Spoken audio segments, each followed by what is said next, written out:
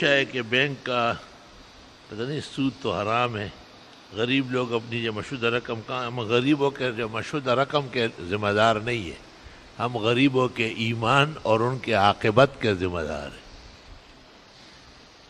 کوئی طریقہ ہے؟ قرآن میں ہے، احل اللہ البے و ہر رمر ربا اللہ تعالیٰ نے سود کو حرام کیا ہے اور خرید و فروغ کو جائز کیا ہے۔ خرید و فروغ کا نظام خود بنا لے۔ اس میں علماء دین کا کیا کام ہے؟ میرے میرے بیوی کا بھائی یعنی میری بیوی کا بھائی، لیکن لکھا ہے میرے، جیسے بیوی بھی اس کا مرد ہو۔ وہ شیعہ لڑکی سے شادی چاہتا ہے، جس کا باپ سنی مات شیعہ ہے۔ اس مسئلے کے شریعت کی روشنی میں جب آدمی اس طرح خلط معاشرے میں رہتا ہو اور علال و حرام کا فرق نہیں کرتا ہو، تو وہ ایسے گن سے واسطہ پڑے گا۔ یہ برے اعمال کا جواب عمل ہے مقافات عمل ہے۔ عشاء کی نماز میں امام صاحب نے آیت کو غیر اللہ ابغی ربن، اور رب کل شے بھول کر اس طرح پڑھ لی قل اغیر اللہ ابغی ربن وہ فد القم العالمی نماز صحیح ہے۔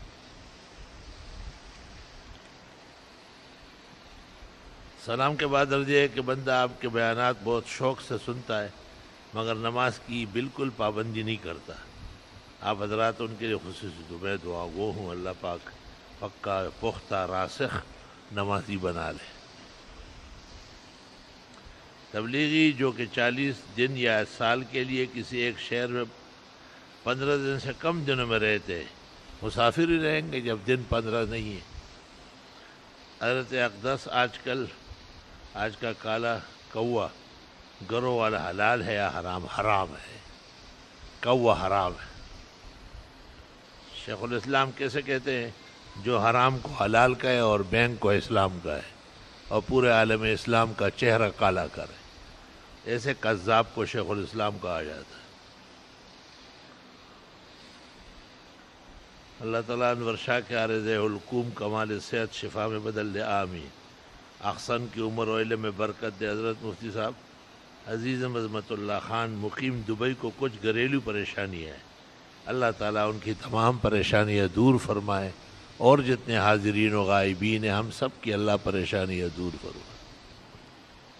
غیر عالم کا قرآن کی تفسیر و تشریح کرنا نقل اور تحریر موجود ہے، جیسے تفسیر شیخ الہند پکڑ کے پڑھا رہا ہے۔ معارف القرآن مفتی شفیع صاحب یا مولانا ادریس کاندیلوی، جو اہل حق کی تفاصیر ہے، بے شک ان میں سے پڑھا سکتا ہے۔ اور جب تفسیر سامنے سے ہٹائے اور صرف قرآن پڑھے، مشکل ہو جائے گا۔ کوئی جامعہ اور دور حاضر کا قرآن پاک کا ترجمہ بتا دیجیے۔ حضرت شیخ الہند کا ترجمہ تفسیر عثمانی میں اور بقیہ چند صورتوں پر فاتحہ، بقرہ، صورت النساء پر حضرت کی تفسیر اور باقی قرآن پر پاکستان کے شیخ الاسلام مولانا شبیر احمد عثمانی جو حضرت بنوری اور مفتی شفیع صاحب کے استاد اعظم تھے، ان کی تکمیلی ترجمہ بہترین تفسیر و ترجمہ ہے۔ بینک میں جو پانی رکھا ہوا ہوتا ہے، اس کا پینا کیسا ہے؟ جب پیشاب پینے کی ضرورت آئے تو پھر وہی پی لے۔ آپ کربلا سے وہاں جاتے ہیں کیا؟ ہاں؟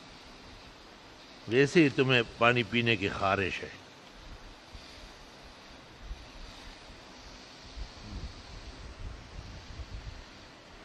لڑکی کے لیے جیسے نا حبیبہ نام رکھنا کیسا ہے بہتر ہے؟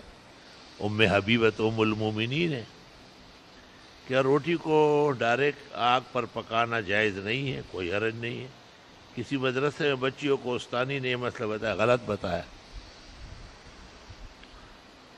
خانہ کعبے میں امام صاحب کہاں کھڑے ہوتے ہیں؟ امام کعبے کے سیدھ میں کہیں بھی کھڑے ہو سکتے ہیں؟ حتیم کے پاس کھڑے ہو، باب کعبہ کے پاس کھڑے ہو، حجر اسود رکن امانی کے بیچ میں ہو، عام طور پر حجر اسود اور حتیم کے آس پاس کھڑے ہوتے ہیں۔ گرمی کے موسم میں پھر سامنے کھڑے ہوتے ہیں میزنا کے پاس۔ جس جگہ بھی کھڑے ہو، درست اور صحیح امامت ہے۔ شیطان اپنے اوپر سوار نہ کرو۔ ایک صاحب دوسری رکعت میں جماعت سے شامل ہوا۔ امام کے آخر رکعت مقتدی نے درود بھی لے لیا۔ تو وہ باقی نماز کی ادائیگی عرص سو کے ساتھ کریں۔ جب رکعت نکل گئی ہے تو پھر تو رکعت چھوٹے گا اور اس کا اعادہ کرے گا۔ اس میں تو سجد سو کی کوئی ضرورت نہیں ہے۔ ایک صاحب کے والد کا انتقال ہو گیا۔ وہ ان کے روز نماز کی فدیہ دینا چاہتا ہے۔ ان کے پاس صرف اتنے ہزار ایک مولوی صاحب بتایا کسی آدمی کو اتنے روپے فدیے کے دے دو اور وہ واپس ہدیے کے طور پہ دے، پھر دو، پھر دے، ہیلا ہے، کر سکتے دے اور لے نہیں، بس نیت کر لے اس طرح۔ مردہ اپنے بالوں، مرد اپنے بالوں کو کالا خزاب دے سکتا ہے۔ منع فرمایا ہے، کالا اور سرخ یعنی ہینا اور قتم دونوں ملا کے لگائے تو گنجائش آئی حدیث میں اتق سودت سیاہ سے بچو۔ حرم میں بیت اللہ کے ساتھ سامنے نماز کے دوران نظریں بیت اللہ پر ہونا چاہیے، یا جیسے عام جگہوں میں نمازیں نظر پڑھتے ہیں۔ کوشش یہ کرے اپنی نظروں کو سنبھال کے رکھے۔ تو وہاں سے لیاقت آباد دیکھتا ہے تو یہ تیری شرارت ہے۔ باپ نے اپنی زندگی میں تین بیٹوں کو مکان کے حصے دے دیے۔ زمین میں پانچ بیٹیاں موجود ہے باپ کا انتقال ہو گیا، اب بقایا، وہ جو زندگی میں دے چکا ہے، سو دے چکا ہے۔ جو لے چکے ہیں، وہ لے چکے ہیں، جنہوں نے نہیں لیا، وہ ختم ہو گیا۔ ہدایہ کا تعلق بادل موت نہیں ہوتا، حیات سے ہوتا ہے۔ اب وراثت کے اندر لذکر مثل حض السید لڑکے کو دوہرا اور لڑکی کو ایک کھیرا ملے گا۔ داڑھی کاٹنا کیسا ہے، منع ہے۔ نطف الفنکین یہ شامی کی یا بعض لوگوں کی رائے بخاری میں موجود ہے وہ یا خزمابین شار بلحیا اے تحت الشفت سفلا ثابت بھی ہے اور پھر بھی اختلاف اس میں ہے۔ دو باتوں پر اتفاق ہے کہ انفقہ یعنی ریش بچہ۔ یہ نہ مونچے ہیں جس کے صاف کرنے کا حکم ہو، نہ داڑھی ہے جس کے رکھنے کا حکم ہو۔ یہ ایک اختیاری امر ہے۔ ایک لڑکے کا نکاح کسی لڑکے سے ہوا، لڑکی کی بڑی بہن کو لڑکے کی ماں نے دودھ دیا ہے۔ شران نکاح کیسا ہے؟ ادارالفتہ کو بیچ دو، کاغذ وہ تفصیل سے لکھ دیں گے۔ حضرت آج کل اپنے ایسے حالات آئے ہیں جن سے مچھر مارے جاتے ہیں اور مچھر بجلی سے مارے جاتے ہیں۔ درست ہے، اس میں کوئی حرج نہیں۔ مچھروں نے بھی شرارت بڑھائی، سزا بھی بڑھانا چاہیے۔ گھر میں کتا رکھنا کیسا ہے، اگر شکار چوکی دارہ حفاظت مواشی ہو تو جائز ہے، ورنہ نہیں۔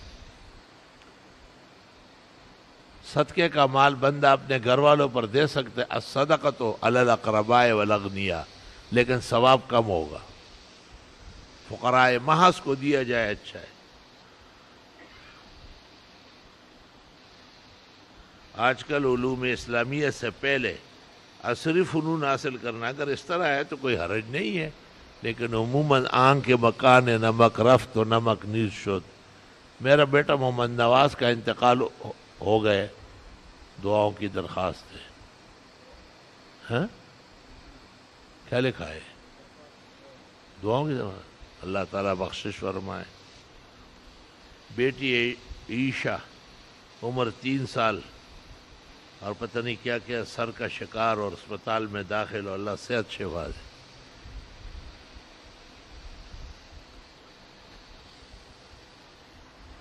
یہ بات آج تک سمجھ میں نہیں آئی کہ ارا لال جانوں میں سات چیزیں آرام ہیں، کسی جمعے میں ایک پرچی جاری فرمائے۔